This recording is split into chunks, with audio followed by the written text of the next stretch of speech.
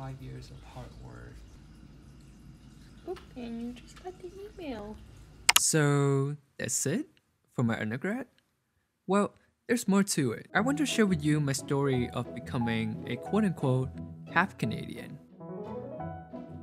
That was my first year in Canada. My English wasn't that good, You know, sometimes I, I I can't understand what the other people say. and my GPA wasn't really high either, regardless of how much I studied. I failed a course. I failed 145. So, if you ask me back then, what does it mean to be an international student? I would tell you, it's waking up in the morning, going to the school, attending class, studying in the library, then heading home.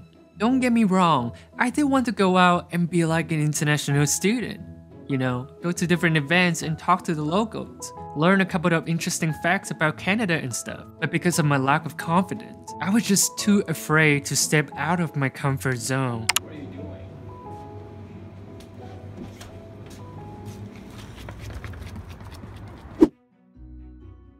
Until my second year in Canada, I met my girlfriend Olivia. Olivia was kind of person who loved to go to different school events and contacts, but still maintained decent grades at school.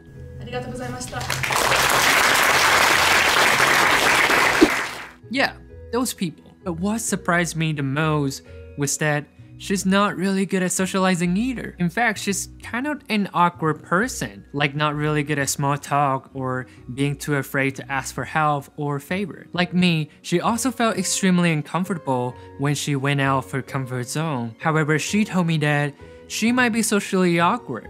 But if she never tries new things in life, she would never know how much fun she could have and how many things she can learn from those experiences. She made me realize that I shouldn't take things for granted. If I had this perfect opportunity to study and live in Canada, why not go out and explore?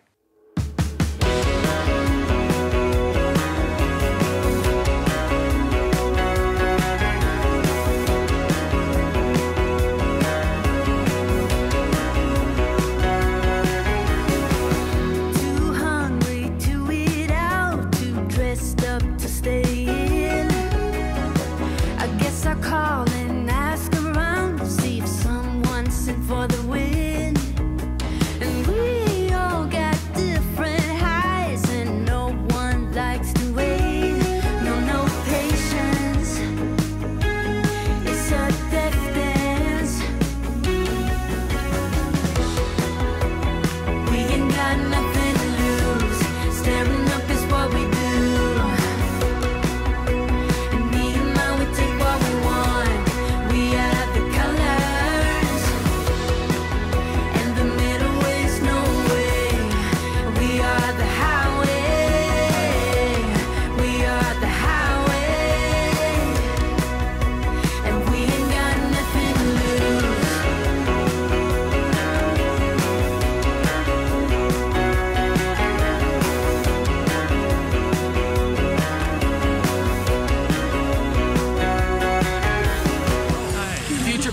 officers here? No. Oh, oh she is. Sure, her- yeah?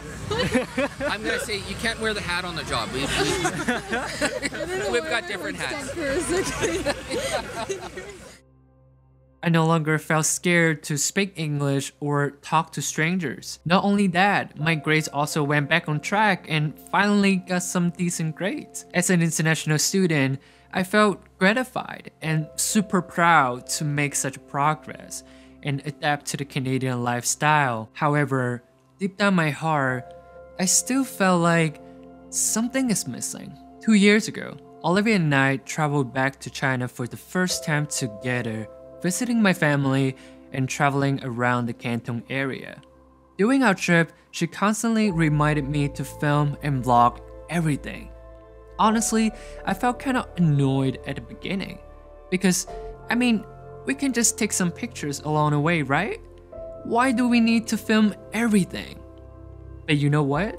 Filming and vlogging really grew on me in time. The reason why I started to enjoy a bit more was not because I enjoy carrying a camera around and filming stuff all of a sudden, but because through the camera, I was able to capture the excitement that Olivia had when she learned some fun facts about Chinese culture, picking up some new slang, or meeting my hometown friends for the first time. It made me realize sharing culture is a really cool thing to do. That got me thinking.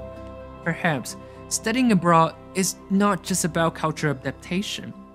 There's more to it. That's why after the trip, I decided to document my experience as a Chinese international student in Canada, making videos about my experience and interactions with the locals. Essentially, I want to use my stories to create intercultural dialogues, letting people in Canada and worldwide get to know the younger generations in China. I want to inspire and help out more people through my content.